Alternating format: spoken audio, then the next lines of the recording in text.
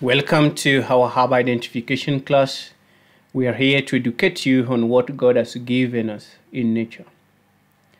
Uh, in the beginning, God created heavens and earth, and in verse 31 of uh, Genesis chapter 1, the Bible says that everything was perfect.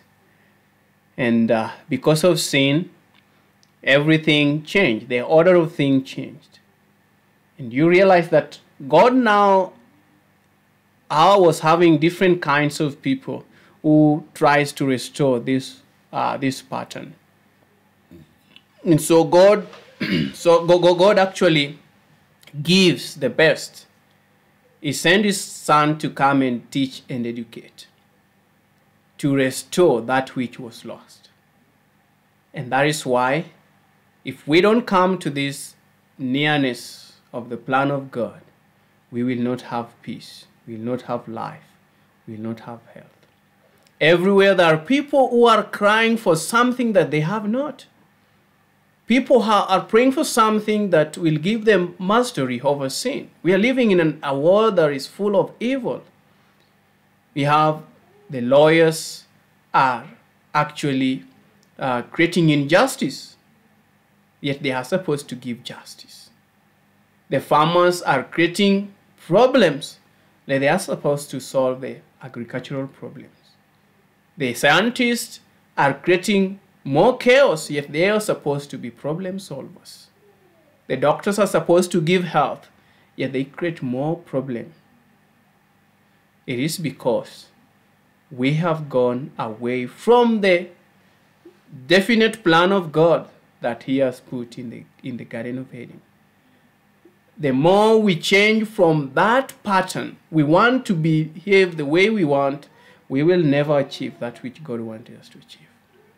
Diseases of the Israelites were gotten by following the plan of the of the, the health standards and plans of the Egyptians. And that's why God tells them in Deuteronomy chapter 28 that if you shall diligently hearken unto my laws and my uh, in my statutes, then I shall not put the diseases that I placed upon the Egyptians. The diseases of the Egyptians are actually found in Deuteronomy chapter 28. And verses 22, you find hemorrhoids there, you find itchiness of the skin, you have the fungal infections there, you have the candidas there. You go to verses 28, you have more of this cancerous source, the cancer in the tumor. You go to verses 35, you have the arthritis, you have the heart diseases, you have the Lyme's disease, irritable bowel syndrome, and you go to verses 61, you find a lot of problems of mental problem, neurological diseases, autism, autoimmunity, and the problem is just there. Nothing that is happening today has never been before. In Ecclesiastes chapter 1, verses 9 say, That which has been will be, and there is nothing new under the sun. The only safety is to run to God. I want to try my best to educate people and to try my best to practice healthy living standards. Dressing code. How are we dressing? Are we exposing our extremities do we know that that affects our heart, our health? In fact, the heart health. Women that exposes their uh, extremities are prone to have a problem with the backache, and they are prone to have a problem with their hearts. They are prone to have menstrual problems. They are prone to develop difficulties, even infertility. Even men tight clothes that tighten that tightens the organs make them not to receive enough oxygen. And also what we watch today we are living in a world that people watch uh, movies that makes our system to be very very excited. People are watching action movies and laugh today. I wonder what are we laughing for? Because this is creating a generation that is going to be very violent and criminally uh, uh, inscripted in their minds. Parents are allowing their children to watch uh, pornographic movies and even nude movies. And we see that today in the media. No one is taking counsel to know whether these things are bad or wrong. They affect our mentality. They affect what we are going to eat. They affect what we are going to wear. You look at people who are watching football today, the hairstyle, the dressing style, and that is not good according to God's, God's according to God's eyes. The Bible says in 1 John chapter 2, verses 14 and 15, that enmity, uh, uh, that uh, friendliness to the world is enmity to God. And anyone who demonstrates and manifests the flesh, the lust of the eyes, the life, the pride of life, the lust of, uh, of the eyes, is an enemy with God. And so we are suffering from day to day. Financial crisis is almost everywhere because we have gone out of the divine plan of God. No one is longing and yearning to produce his own crops. And so we have fertilizers introduced into the system to produce food. Yet the system of organic farming was very, very profound and effective in production of foods. People are not learning to grow trees and all the indigenous trees, the local trees, the exotic trees are almost gone. It is because we have not taken counsel to know what God wants for us. God is looking for only one person who is going to make a decision to follow that divine plan. What does it mean to live a life in this world? Is it the food that you eat? Is it the money you're scrambling for? I tell you today, most people are, uh, are actually knowing that they are parenting their children, yet they are not parenting. They think that if they give their child the, uh, the, the bread and butter, the milk, the eggs, the good food, they, they, we, we call it so, or we see it so, and give them uh, a, a good uh, smart screen, uh, flat screen, and they could watch the cartoons and everything. We are parenting. In fact, we are giving them, offering them as a sacrifice to the devil. And then they grow up still people that are not obeying God and are not very uh, reverential to the word of God. And then they will eat whatever they want. Later on, we develop diseases that are difficult to treat. Most parents give uh, foods that are not, uh, are not remineralizing the body. You know, sweets, the biscuits, the quenches, they give nothing to the body. Instead, they make the brain to be uh, hyper, uh, hyperactive, and then you find children are having autism. The bowel system is affected. So we are coming to a time that restoration of all things have to be followed. We have just some time to point the, the nail on the hood. And people need to change. Because if we don't follow this plan, we shall never be saved we shall be suffering from day in and day out. But the truth, uh, the, the, the, the, truth is that when we follow the plan of God that is set in the beginning, we will have health. We, it doesn't matter which disease you have, you will be healed in the name of Jesus Christ if you follow the laws of Jesus Christ in the Word. Now, let us look today. Uh, we are looking at papaya. This is a common plant that we find in homes and it is grown everywhere.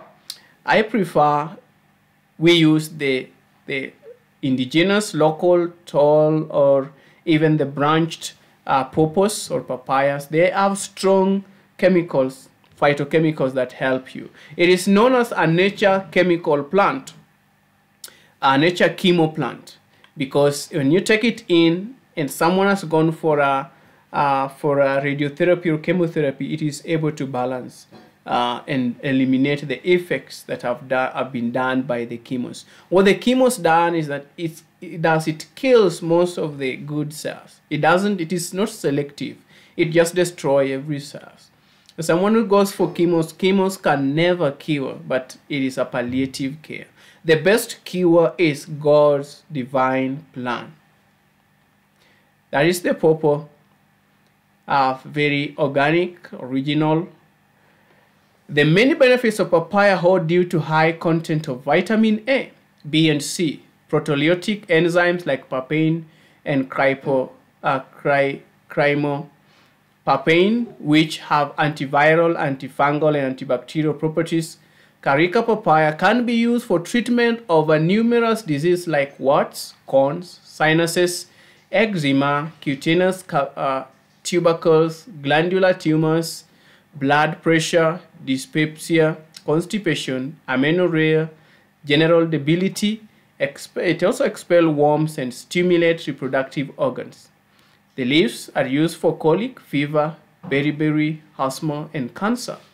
And papaya leaves are used traditionally in treatment like jaundice, malaria, dengue, immunomodulatory, uh, and antiviral activities. And the leaves have medicinal properties like anti-inflammatory, hypoglycemic, anti-fertility, and abortifacient and hepatoprotective, wound healing, anti-hypertensive, and anti-tumor activity. So papaya is loaded from the leaves. We get the medicinal properties. Like for example, the leaves is ant as anti-tumor effect. In what sense? If you take it in uh, together with a plant called soursop, but even singly, you can just use it.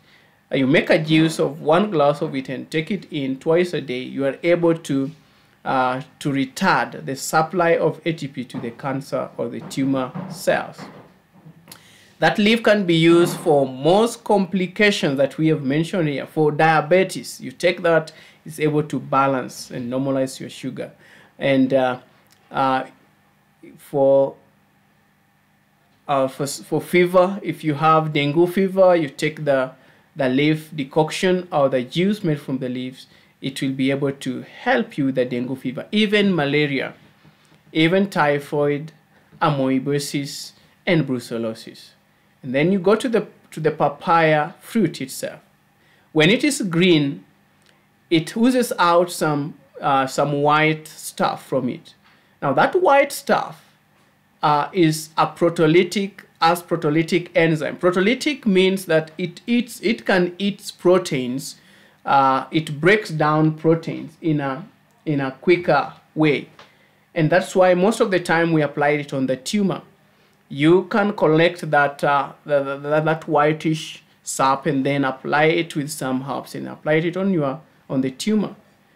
Uh, and uh, the the pap, the pawpaw when it is not ripe, it contains a lot of papain that breaks down the congested uh, chest that also uh, break down the protein molecules that are, uh, are free radicals in the system it is able to help you lower the weight. If you're taking papain, your weight will be low because a lot of protein is broken down. And uh, most of the time, the outer green part is always crushed and then mixed with uh, maybe garlic or, uh, or comfrey and then applied on a tumor to pull it out and break down the protein molecule within that tumor. Yes, so uh, if you go to the to the roots, very good for for fever, more so the uh, the yellow fever, the root of of uh, of papaya, and uh, the leaves of uh, the leaves of guavas and the leaves of uh, of lemons or oranges. Very, if you make a, a decoction from that, you give someone having fever, dengue fever, or even yellow fever, they are able to uh, to break that that problem and be set free. Uh, set free. Yeah, so that is how it is. The papaya leaves are used as a tonic for heart disease, treatment for stomach ache, and have antioxidant, anti-cancer, antiseptic, and analgesic properties. It is uh, the dried leaves are known as blood purifiers and taken as tonic. Uh, so it means it it purifies the leaves. If you dry the leaves, it you concentrate the medicinal properties. The papaya leaf tea is used to treat obesity and help in losing weight and it acts against chronic indigestion, high blood pressure, and atherosclerosis, weakening of the heart. Daily consumption of leaves help to prevent malaria. Aqueous extract of papaya leaves consumption also increases platelet or white blood cells and neurotrophils uh, count. Especially in dengue patients. Dried leaves have been indicated indicated in sickle cell anemia management. Now, if you, uh, I know of two remedies that are good for the for the sickle cell anemia. If you take them, the person can never go on a crisis for even two weeks. That is the dried papaya leaves and the uh, indica edulis. Indica edulis plant, you take the, the, the stem and able to control someone with a sickle cell anemia. It expands the, uh, the red blood cells surface area and they come to a normal shape so that you cannot go on a crisis. Its roots can be used as a medicine for renal and urinary bladder problems.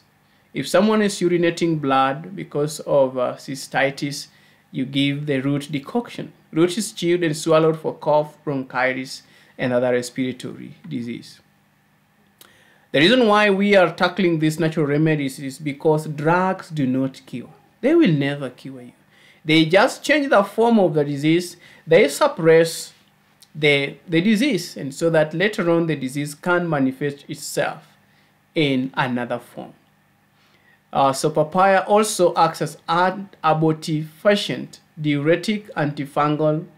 It has antifungal activity, also checks irregular bleeding from uterus and piles.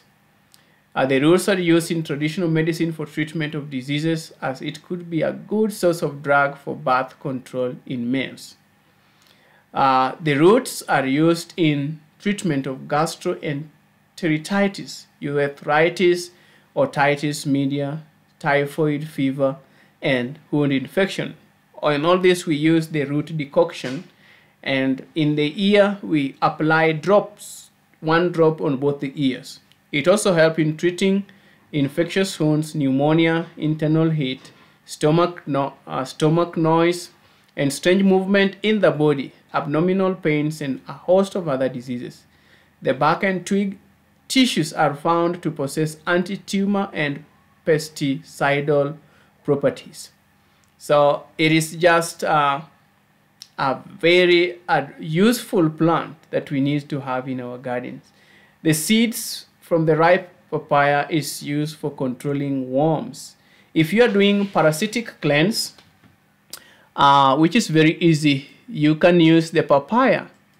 Uh, the, for parasitic cleanse, this, this person need to, number one, stop from eating uh, the sugary foods. You may be going through a salad, a fruit salad, uh, or, a veget or a vegetable salad, and then in the morning, the first thing you begin with is taking, chewing uh, the papaya seeds, about a teaspoon.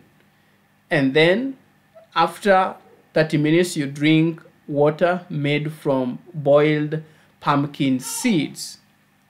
Pumpkin seeds you boil in water. For every two tablespoons you boil in one cup of water and you make a strong a strong decoction out of that and take it in and uh, after five hours you also take again the, the papaya seeds for three days. On the third day, what you do is uh, either you be in a calm place and get one liter of water and do an enema with it.